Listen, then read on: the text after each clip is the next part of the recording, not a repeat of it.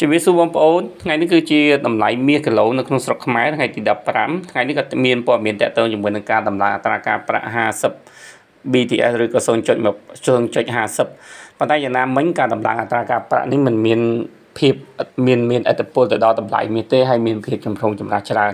តម្លៃមាសនៅក្នុងហាងចេញស្រុកខ្មែរគឺមានពី217រហូតដល់218ដុល្លារនៅក្នុងមួយ 1G ទៅតាមហាងឆេងនីមួយៗហើយគុណភាពមាសអឺ ដូចជាមាសស្វីសឬក៏មាសគីឡូមាសអីបងប្អូនអាចសួរពួកពួកគាត់បានយើងបានផ្លប់ចេញតាក់ទងជាមួយនឹងវីដេអូគុណភាពមាសផងដែរមានបទយកាមួយហើយយើងនឹងសរុបព័ត៌មានឲ្យបងប្អូន The FOMC chose to raise interest rates by 50 basis points or 0.5% at their recent meeting. This is less than the previous four rate decisions of a 75 basis point increase. Overall, the Fed has raised rates by 4.25% this year. The Fed raised 2022 GDP forecast to 0.5% from 0.2 and lowered GDP expectations for 2023 to 0.5% from 1.2%. Fed officials see Fed funds rate going to 5.1% from the previous 4.6% expectations, which would indicate another 75 basis point of increases for 2023. This is a big shift in the SEP or Summary of Economic Projections, as 17 of the 19 officials now see rates over 5% for 2023 from none in September of 22. The chairman indicated that rates would need to remain higher for longer to sufficiently offset the impact of inflationary pressures. Chairman Powell also indicated that the labor market is still out of balance with other economic indicators and housing activity has weakened significantly. មានរឿងចម្រុងចម្រាស់ជាច្រើនបានចេញបន្ទាប់ពីសេដ្ឋកិច្ចរបស់សហរដ្ឋអាមេរិកมันមានភាពល្អប្រសើរខ្លាំងតែទៅជាមួយនឹងតម្លៃអាកាសតាប្រាក់ពីដំបូងយើងឃើញលោក Powell គាត់ព្យាយាមថែរក្សា0.25ដើម្បីរក្សាភាពចំណេញបន្ទាប់ពីការចប់ប្រជុំគឺគាត់ឡើងរហូតដល់0.50ហើយនៅក្នុងនោះដែរមានសមាជិករហូតដល់7នាក់ក្នុងចំណោម19នាក់មានការតវ៉ាមែនទែន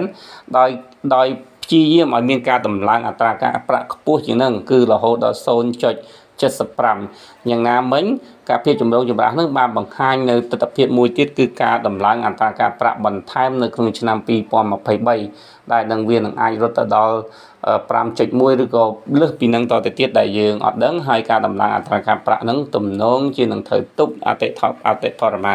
ដោយនៅក្នុងវីដេអូដែលបានបង្ហាញអំបញ្ញមិញគឺសហរដ្ឋអាមេរិកគឺមានទិសដៅក្នុងការប្រយុទ្ធប្រឆាំងជាមួយនឹងអតិថរណា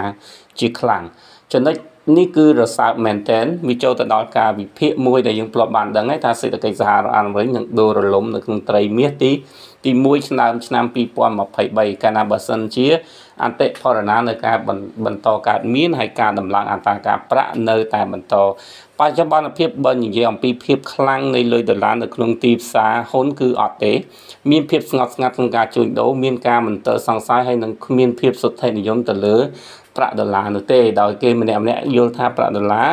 ចិត្តដល់នឹងហានិភ័យរបស់វានៅក្នុងកលៈទេសៈណាមួយទៅហើយការតម្លើងអន្តរការប្រាក់បើធៀបនឹងសេដ្ឋកិច្ចដែលមិនល្អនោះដូចជាការរុញវិបត្តិសេដ្ឋកិច្ចឲ្យវាកើតឡើងប្រសិនបើ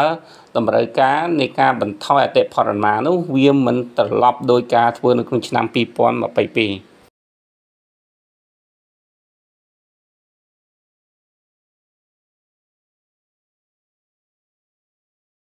យើងបានដឹងហើយថានៅក្នុងឆ្នាំ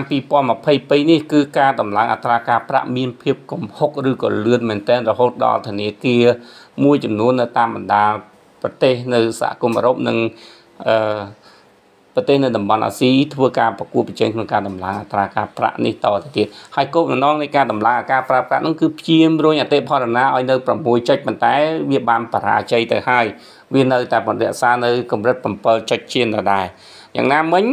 តកតងជាមួយនឹងតម្លៃមាសទៀតសោតយើងឃើញមានការចាប់ផ្ដើមជួញដូរហើយនៅព្រឹកនេះមានការជួញដូរច្រើនហើយក៏វិគៀកនៅឆ្នាំចិនដែរដែលមានតម្រូវការប្រើប្រាស់មាសដូចគ្នាដែរ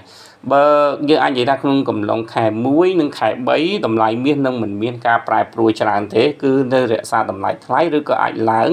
នៅក្នុងកលៈទេសៈណាមួយនឹងកើតឡើងហើយប្រសិនបើក្នុងត្រីមាសទី1បានបញ្ចប់អតិផរណា នៅតែបន្តការឡើងនោះពេលវេលាមាសបានកើតឡើងហើយ គឺពេលវេលាមាសដែលហក់ឡើងតម្លៃថ្លៃនឹងនឹងកើតឡើងហើយប្រសិនបើលុយដុល្លារហើមទៀតនោះគឺជាពេលវេលាមាសសុទ្ធសាធនេះគឺជាព័ត៌មានដែលខ្ញុំជម្រាបជូនបងប្អូននៅក្នុងថ្ងៃនេះប្រសិនបើបងប្អូនយល់ថាវាជាព័ត៌មានដែលមានប្រយោជន៍ហើយសម្រាប់បងប្អូនក្នុងការស្រាវជ្រាវបន្ថែមទៀតសូមកុំភ្លេចចុច Subscribe លើ Channel របស់ខ្ញុំដើម្បីទទួលបានព័ត៌មានបន្ថែមទៀតក៏ជាការលើកទឹកចិត្តដល់ការផលិតវីដេអូផងដែរសូមអរគុណសូមជម្រាបលា